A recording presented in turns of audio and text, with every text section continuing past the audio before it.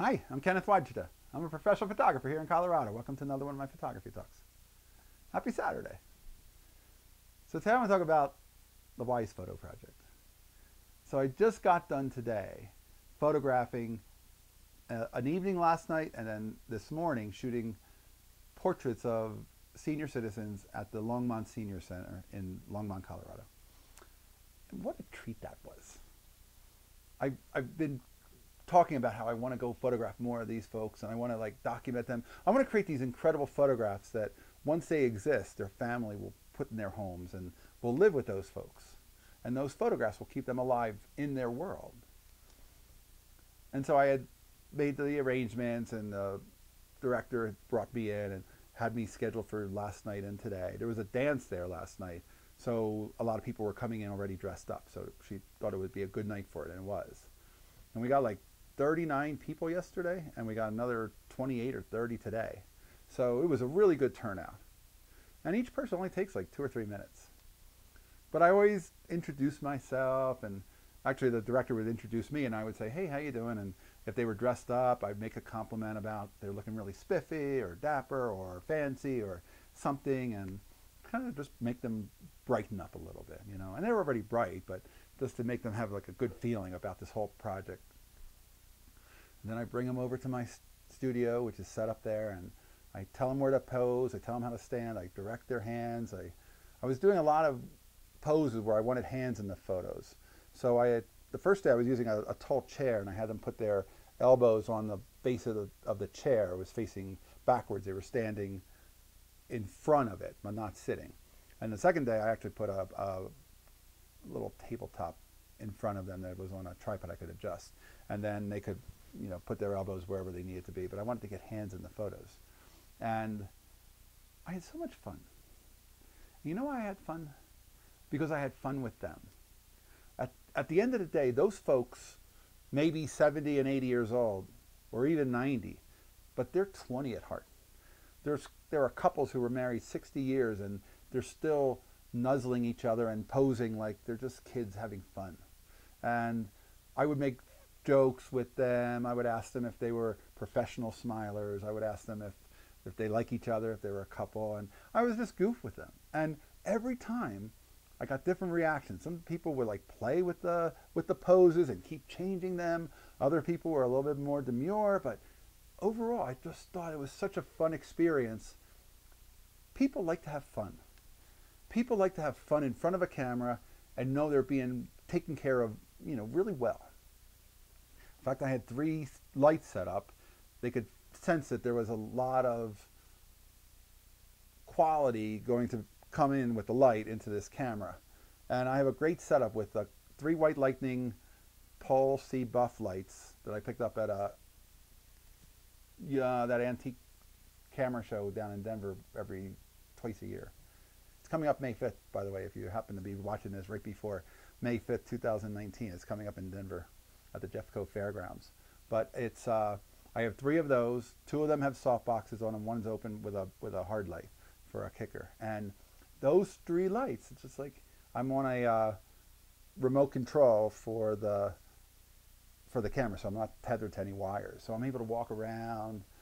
I had a little box. I have an Apple box that actually has segments in it. It has some shorter and some wider segments. I can actually stand a couple on one to make them so that their heights are a little bit closer. They love that. And I love that too. But anyway, so it was just sort of a, a treat. And I'll put a link to some of the photos. I may have to hold off until we're having a premiere of these photos on May 9th. They won't see them until May 9th. So I probably won't publish this until May 9th. So you're probably watching this after May 9th, which means you missed the camera show.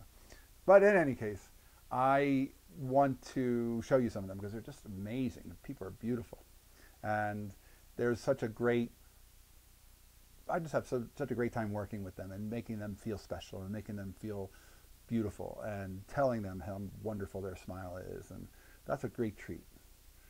Like I said, I think once before recently, if I could have any work that I could do a lot, I would travel the country with this project and just bring these faces in photographs that didn't exist until yesterday and today and I would make those for people all around the country and make it so that their faces would always be preserved. There was, there were people. One woman said, "I haven't had a photograph made professionally since 1957," and several people said, "Yeah, we people take pictures of us with the phone, but I don't think those will ever survive."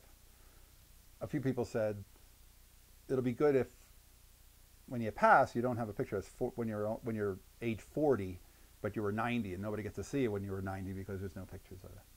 And it's so true. There's nothing wrong with the beauty of, of age, and age has, you know, everything's beautiful. There's no such thing as, oh, only attractive at 20. And when you see the light in these folks' eyes and when you see the smiles, and I have, uh, because I was in, introducing the project to them, they would ask, you know, is there any way to get all the digitals? And I would say no.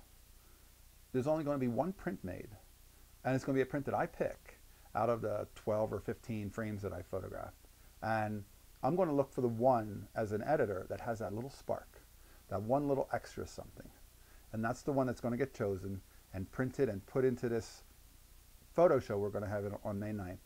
And they're going to see their photos for the first time and they can take those photos home. And if they want more prints, they can always order some. That's not required, certainly. That's not the purpose of why I'm doing this. I really want to make something that I would love it if their family wanted more pictures, so then they would actually have more pictures in more homes. But the idea is, I said, I'm going to give you that print because that print will exist. A digital won't exist. If you're not printing your photographs, it's not a photograph. It's just sort of the possibility of a photograph. It's a slide in a slide tray, but you can't see it unless you put the projector up. It's a negative that didn't get printed, and it's like, well, it could be a picture someday, but nobody ever printed it. To me, that's what digital is. Yeah, you can open up grandma on the computer screen, but when do you? And how often? And, and how do you live with those people when they're in a folder somewhere? I can live with my mother on my desk. She's right there with me. It's in a picture frame. It's very inexpensive. It's very easy. It doesn't take a triple backup to make those pictures survive. It just takes no fire, but the fire would, would destroy the computer as well. I know maybe there'd be a cloud, yeah, yeah. But the point is, everybody doesn't have a fire that destroys your home. And I love the fact that a print sits on your shelf, sits on your bureau, stays with you, and as you pass them, you see them and they're a part of your world. And these folks are like the most beautiful people, fun, warm, and very thankful and appreciative of having somebody wanting to photograph them. And I'm glad to be that person. All right, that's today's photography talk. I'll put links to the photos below if you have any questions or any comments, put them in the links, put them in the comments below. And if you're enjoying these, hit the subscribe button. If you can support, hit the Patreon. Thanks so much for watching. I look forward to bringing you more photography talks. Here's the good light.